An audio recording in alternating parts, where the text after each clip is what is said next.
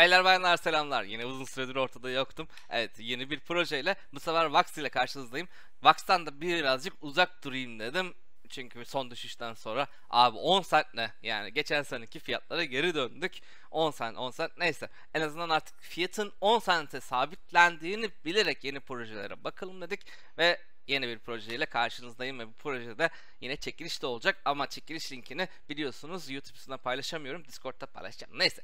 Gelin şimdi tüm bu bilgileri hem nasıl kazanabileceğiniz, ne satışı olacak, nasıl proje olacak hepsini inceleyelim şimdi.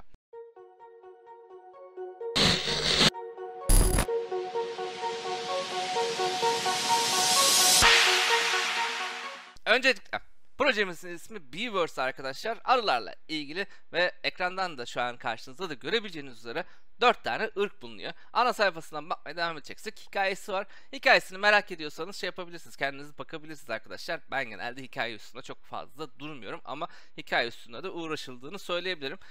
Roadmap'e aslında çok da bakmaya gerek yok. Şu anlık gerek yok. Neden mi? Çünkü daha en başındayız arkadaşlar. Ve yıl sonuna kadar ki kaç ayı var? 6 ayı var. 6 ay içinde çoğu şeyi yapmayı planlıyorlar. Neyse esas yere geçelim biz. White Paper'a geçelim. Şuradaki en baştaki story kısmını geçtiğimi söylemiştim. Çok merak ediyorsanız hikayeyi okuyabilirsiniz. Kendi aralarında farklılıkları var. Bunları kendiniz bakabilirsiniz. İlk başta arkadaşlar Phase 1 ile başlıyoruz ve Phase 1'de Investor NFT Sale ve Passport işte Sale diye devam edecek. Ardından da yavaş yavaş oyun açılmaya başlayacak. Bu NFT'lerin farkında birazdan söylüyor olacağım zaten. Phase 2, Phase 3 ve Phase 4 diye devam edecek arkadaşlar. Zaten bunları birazdan değineceğim. Tüm white paper'da bunlar açıklanmış halde. Şimdi bu oyunda bazı paketler olacak arkadaşlar. Kafanız karışmaması için adım adım gidin. Passport Pack. Passport Pack aynı. Million on Mars'ta hani oyuna girerken sizden çok küçük bir şey istiyordu ya. Giriş bedeli 1-2 dolar gibi. Normal oyunu oynayabilmeniz için. Onun gibi bir pasport satılacak ve farklılıklara ait size bir pasport verecek. Yani atıyorum size Tikal pasportundan çıkarsa arınız da Tikal olursa ekstradan bonus alacaksınız. Bunu nereden de hatırlarsanız Goldman'te de benzer bir şey vardı. Farklı bir ırkınız oluyordu ve o ırka uyumlu minerali çıkartmanız gerekiyordu. Bunda da arılar üstünden olduğu için o ırka artık o o ırka diyeceğim ırkta değil de ona uygun yerde yaptığınızda işlem gerçekleştirdiğinizde daha fazla bonus kazanacaksınız arkadaşlar. Ardından da doğal olarak arılar olduğu için bir paket satışları olacak daha sonrasında. Buradan içinden çıkacak nadirlik oranlarını görebilirsiniz ki mitik bayağı değerli olacak %1. Daha sonrasında da tekrardan da ikinci bir paket satışı daha yapacaklar.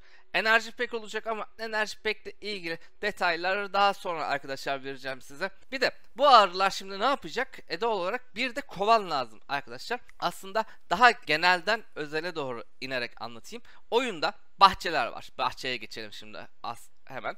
Bahçeyi land olarak düşünebilirsiniz arkadaşlar. Ve bu land'in içinde de kovanlar var. Farklı farklı onları da şehir, ülke olarak düşünebilirsiniz aslında. Ve bir de arılarınız olacak. Bahçe aldığınızda, land aldığınızda içinde işlem yapıldığında bundan belirli bir oranda pay alıyorsunuz. Eğer land sahibi iseniz. Aynı zamanda da arıları da kovana gönderiyorsunuz arkadaşlar. Ama kovanların da belirli bir sınırı var ve aynı şekilde kovanların da nadirliği var. Daha iyi kovanlar daha çok kazandırıyor. Daha kötü kovanlar daha az kazandırıyor. Aynı şey arılar için de geçerli. Zaten buradaki rarity oranlarından görebilirsiniz. E, kovanların da sınırı olduğu için o kovan dolduğu zaman arkadaşlar e, ne oluyor? Siz içeriye gönderemiyorsunuz değil mi? Hayır oyun gerçek zamanlı bir strateji oyunu şeklinde planlanıyor arkadaşlar. Neden gerçek zamanlı? Çünkü siz örneğin A kovanına gönderdiniz ve arınız orada çalışıyor. Daha sonra sen oraya göndermek istediğinde ne oluyor arkadaşlar? Kimin arısı güçlüyse o kovanda çalışmayı hak ediyor ve diğer güçsüz arı da kovandan sürgün ediliyor. Yani bu ne demek oluyor arkadaşlar?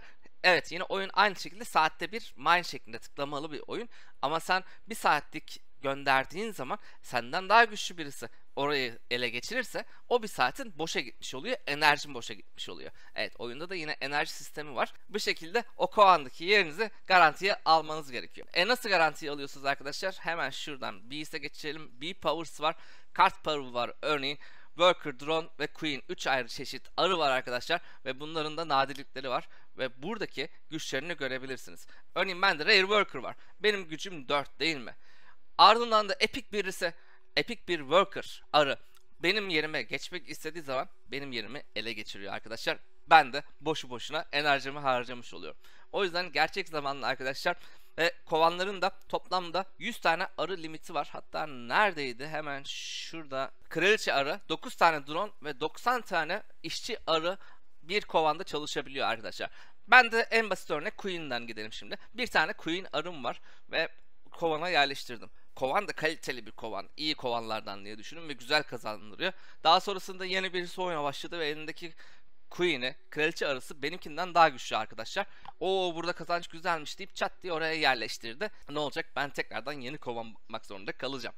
O yüzden hadi buraya yerleştireyim sürekli man yapayımdan öte birazcık da kovan kovalamamız gerekecek. Ve gerçek zamanlı strateji olmasının bir diğer sebebi de ne arkadaşlar? Tamamen burası. Doluluk oranı. E şimdi siz düşünebilirsiniz. E tamam ben boş bir kovana geçeyim ama ne olacak ki diye düşünebilirsiniz. Ama boş bir kovanda tek başınıza çalıştığınızda arkadaşlar şuradaki tabloya dikkat etmeniz gerekiyor. Doluluk oranı %0 ile 10 arasında olduğunda o kovanın kazancının toplam kazancının %10'luk alabiliyorsunuz sadece. Eğer kovan %51'in üstünde doluysa, %51 ve üstü doluysa arkadaşlar o zaman kovanın tamamından pay alabiliyorsunuz. Yani bu ne demek oluyor? Buradaki tabloya dikkat etmeniz gerekiyor. Buradaki en kazançlı kısım ise arkadaşlar %51, %52 dolarlık oranı. En üsttekinin alt sınırında olmaya çalışacaksınız.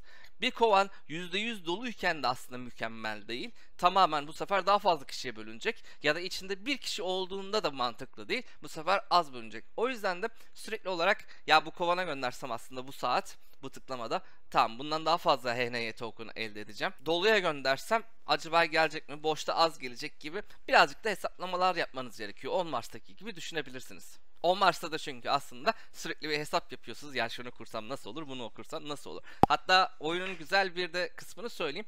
Bir sonraki aşamada arka planda sürekli 10 Mars iletişim içinde proje.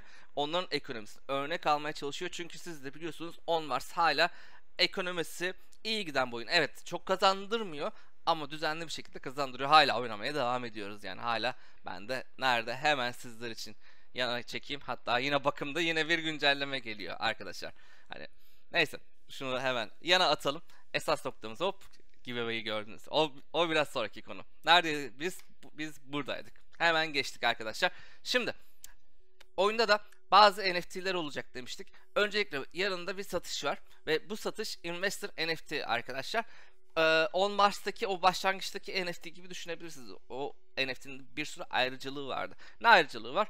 Şu çok önemli değil. Önemli de çok önemli değil arkadaşlar. Çünkü piyasa şu anda durgun olduğu için genelde paket satışlarından kapabiliyorsunuz. Öyle bir anda bir saniyede bitti diye botlar hiçbir şeyi çekmiyor projede artık. O güzel dönemler geçti. İnşallah o güzel dönemlere geri geç geliriz ama neyse. Burada bir de yazıyor ki tüm işlere akses diyor. Tüm işler ne demek oluyor arkadaşlar?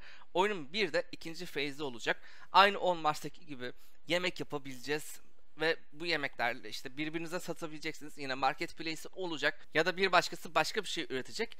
Bu üretimle alakalı olan mesleklerde bu meslekten bahsediyor arkadaşlar. Aynı zamanda işin en güzel kısmı da neresi biliyor musunuz? Burası. Her hafta size bir tane arı paketi verecek. Daha sonrasında hiçbir yatırım yapmanıza gerek kalmayacak.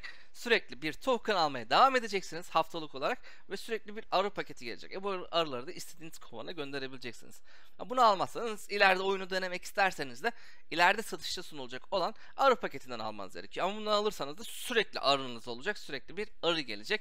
Dilerseniz bu arıları da daha sonrasında Atomic Up'ta yine satabilirsiniz. Biraz önce de meslek demiştik ya hemen neredeydi? Şuradan da White Paper'dan Buildings kısmından bakabilirsiniz arkadaşlar. Örneğin Refactory, Garrison, Hotel, Production, Auxiliaries ve Hunter Gatherer şeklinde farklı buildingler olacak. Ve buildingler sayesinde de arkadaşlar ne olacak? Hemen şöyle bakalım. İçinde örneğin şef olabileceksiniz, baker olabileceksiniz, müdür olabileceksiniz. Yani içinde farklı farklı meslekler olacak binalarında.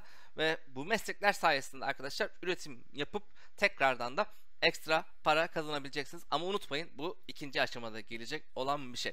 Ve e token yakımı nerede o zaman token yakımı nerede diye sorarsanız da hemen şuradan Honey Token kısmındaki şeye geçelim arkadaşlar. Neredeydi? Hemen buradan bakabilirsiniz. Ne diyor? Öncelikle bu meslekler için gerekli olan tüm kaynaklar, tüm resource'lar arkadaşlar HNY token'a satılacak. Daha sonrasında enerji sistemi olacak demiştik değil mi? Hatta hemen buradan bir de enerji sistemine geçelim. Şuradan bir arıyı sürekli olarak gönderemiyorsunuz arkadaşlar. Belli bir enerjiniz var. Ve bu enerji de gün içinde yavaş yavaş da günlük de doluyor.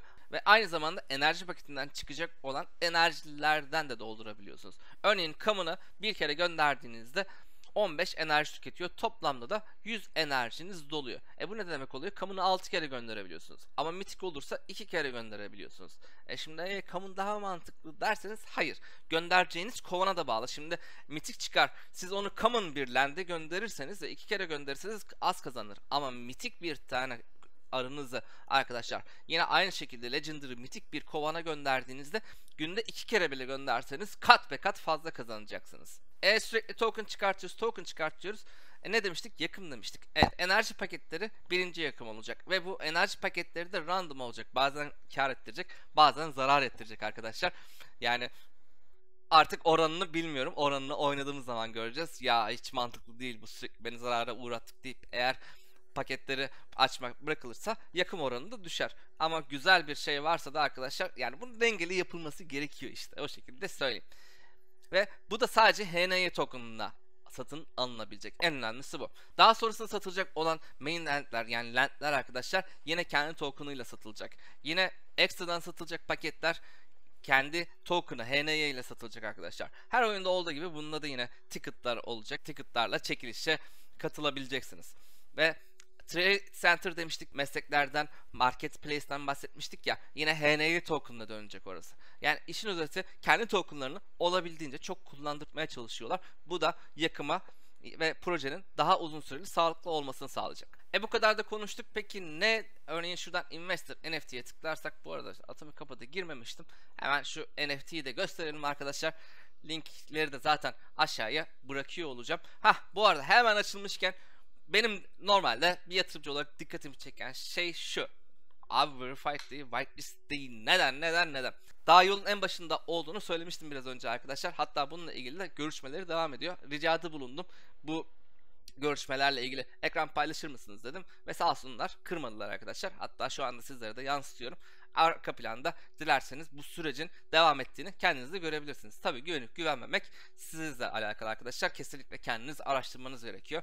Eğer bir miktar parayı riske atacaksanız mutlaka araştırmanızı yapın. Ama daha sonrasında Investor NF'inde değerli olacağını unutmayın eğer proje tutarsa. Peki bu illa yatırımla mı almak zorundasınız? Hayır değilsiniz. İki tane çekiliş var. Hatta üç tane çekiliş var diyebiliriz arkadaşlar. Birincisi tipik bir GiveLab linki arkadaşlar. Discord'larına katılmanız, Vax adresinizi yazmanız, Twitter'la ilgili görevleriniz, Medium'u ve web sitesini takip et gibi görevler var. Ve buradan size çıkarsa arkadaşlar 5 tane investor NFT davet ediliyor. İkincisi ise yine Discord'larına girin. Discord'larında da invite contestleri devam ediyor. Bu invite contestine göre direkt para kazanabilirsiniz. Vax da kazanabilirsiniz arkadaşlar. İlk 5'e şuradaki ödülleri görüyorsunuz. Birinci Investor NFT artı 500 Vax ne yapıyor? 50-60 dolar civarında bir şey yapıyor. İşte 30 dolar civarında yapıyor gibi aşağıya doğru iniyor. Üçüncüsü ise arkadaşlar kendi Discord'umda linki bırakıyor olacağım. Discord üzerinden bir çekiliş yapacağız. Ve iki tane NFT dağıtacağız arkadaşlar. Yine Investor NFT. Tabi bunun sonuçlanmasını ya yarın ya da yarından sonra göre ayarlarız. Projeyle ilgili de başka sorunuz varsa mutlaka Discord'da gelin arkadaşlar. Orada yazın. Bir sonraki projede görüşmek üzere. Kendinize iyi bakın. Hoşçakalın.